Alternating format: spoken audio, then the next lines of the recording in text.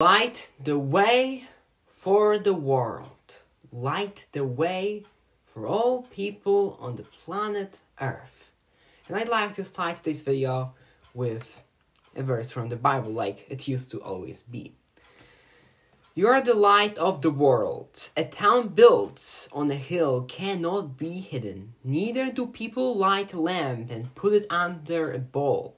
Instead, they put it on its stand and it gives light to everyone in the house. In the same way, let your light shine before others, that they may see your good deeds and glorify your Father in heaven. It was Matthew 5 from verses 14 to 16. And what does it mean? It means that you're this light that cannot be hidden. You have to be open to people. You have to go and preach the word of Jesus Christ to everyone you possibly can. To your family, to your friends, to your classmates, your coworkers, to every single human being on the planet Earth. So they will hear the gospel before they pass away. Because the kingdom of heaven is at hand. And we're close to the God. Jesus coming soon. Some people may disagree with you, some people may dislike you, and some people may go into a fight with you. But the important thing is that you need to be aware of these consequences. You're this light. Like it's written here, a town built on a hill cannot be hidden. Is that true? Of course it's true. It's super smart.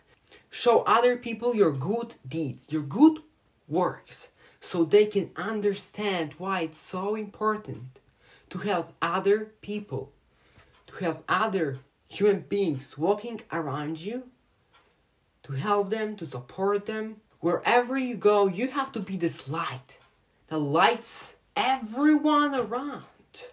Everyone, everyone around in a room or in a school or in a hospital or somewhere, wherever you go, right? Wherever you work. Maybe you're, a police, police officer, maybe you're a doctor, maybe you're a teacher, maybe you're a cook, doesn't matter. What matters is that you can preach the gospel to everyone. Literally to everyone. Everyone needs to hear the word of Jesus Christ.